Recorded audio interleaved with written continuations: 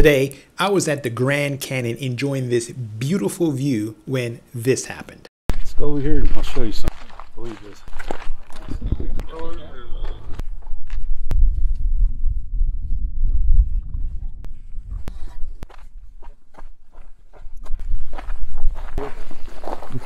I took a tour bus with my family to the Grand Canyon, and I'm going to help you understand exactly what you can expect and also help you decide if it's worth your time and, more importantly, your money.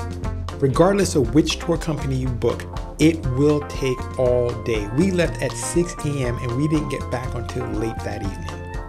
If you're not part of that 1% club and you want to save a few dollars, I strongly recommend you bring your own food. That means water, beverages, um, uh, sandwich, snacks, everything. Because this place, the last stop, is literally one of only two places that you can actually buy food. And the food here is extremely expensive.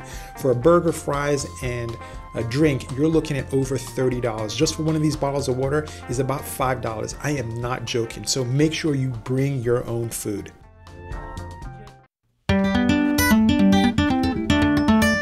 I found the entire trip entertaining. Not only was the uh, driver giving me a bunch of information, but looking at the landscape, both leaving Las Vegas and while we were in the desert, was extremely exhilarating. It doesn't matter how you get to the Grand Canyon. You will not be able to drive up to the canyon and park in a parking lot and just walk over there. You must stop at this area, get a ticket. They will then transfer you to a bus which will take you to the Grand Canyon. This is what that experience looks like. The Grand Canyon is beautiful, but it is by no means free. Be prepared to pay about $70 per adult. We were there in the middle of summer, which I believe is their high season. One of the things I liked about being here at the West Rim was that it wasn't at all crowded. I didn't feel like there were people all around me, especially when I got close to the precipice. While I was there, I befriended a Native American who took me in front of the rope and it provided me with this spectacular view of the canyon. While I was there, I met Monty, who is one of two Native American ambassadors that work there, and they'll tell you the history, the culture, um, the, the Native American heritage for absolutely free, uh, what the Grand Canyon meant to them as a people, and what settlement and uh, colonization meant to them as a people, and how it impacted them and their lives. And they do this for free. I do recommend, though, that you do leave a tip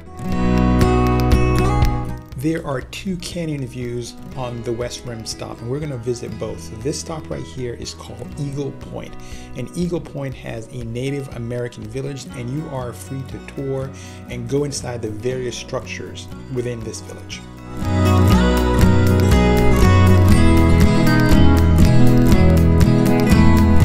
At Eagle Point is the Skywalk, and the Skywalk is a horseshoe type walkway that is over the canyon. So it allows you to look through the uh, glass floors and see directly to the bottom of the canyon.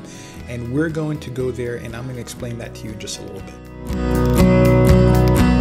Here are a few things I want to note about the Skywalk. The first thing is they don't allow you to take videos or photos and all your valuables must be placed in a locker. In the building is also a gift shop and a restaurant. Both are extremely expensive. The restaurant, though, is on the top floor, and that allows you a fantastic view of the canyon.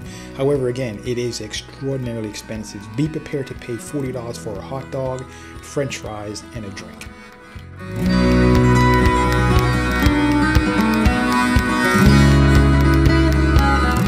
I just got on the bus and we're at our second location, which is Guano Point, which in my opinion is a better view than Eagle Point. So if you want to regulate your time, spend more time here because I think you're going to get a better scenic experience.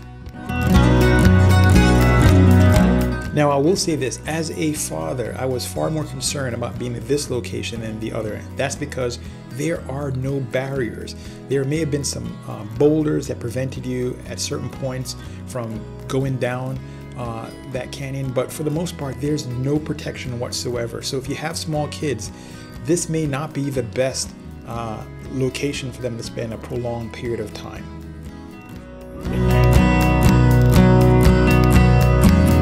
Now it's time for me to answer that million dollar question as to whether or not this experience was worth the money. And in my opinion, it absolutely was.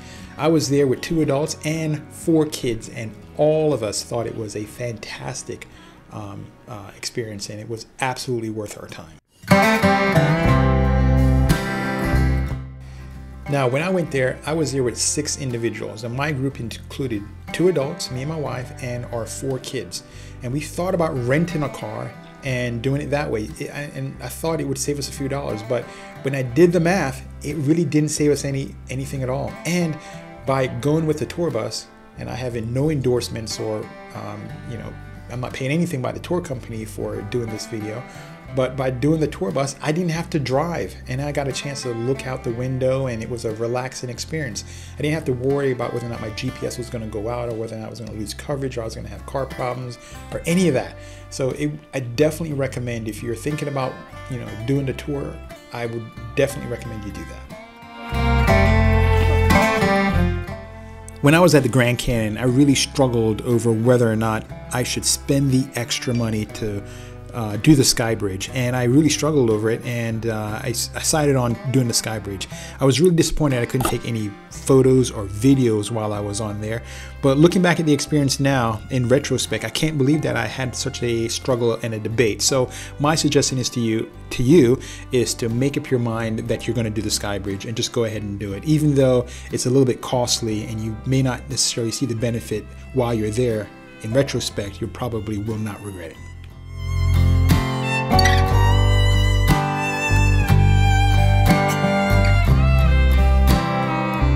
Another reason why I like this lookout point is because it gave me a view of the Colorado River. One of the unexpected bonuses of you know great things about this trip was the bus driver.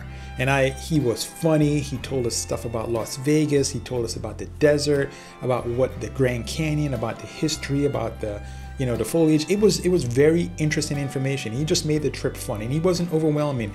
You know he talked at times. He allowed us to relax at times and it was just a wonderful experience and i never saw that coming. So another reason as to why i think the bus is probably your best bet